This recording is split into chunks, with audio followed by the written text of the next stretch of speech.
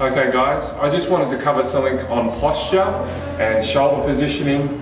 So a commonly uh, held belief is that you should walk around ready for action, tensed up uh, for anything.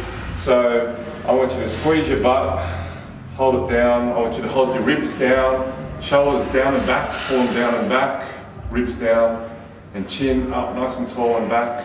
All right, so this is a classic tall posture.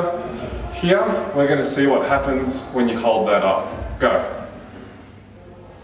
Feel free to try, Ben. Come on, let's go. Go, go, go, go, go. what does it feel like?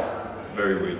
Very weak, okay? So this time, I want you to do the same posture. Squeeze your butt cheeks together, ribs down, shoulders down and back, chin all the way back here, up nice and tall.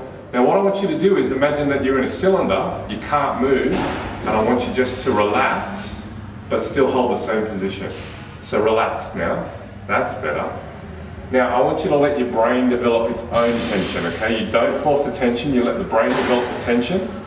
Hold me there, go.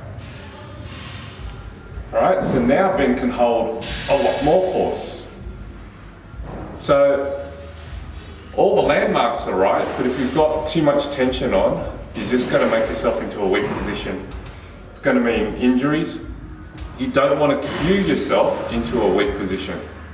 That's my tip for posture. Thanks.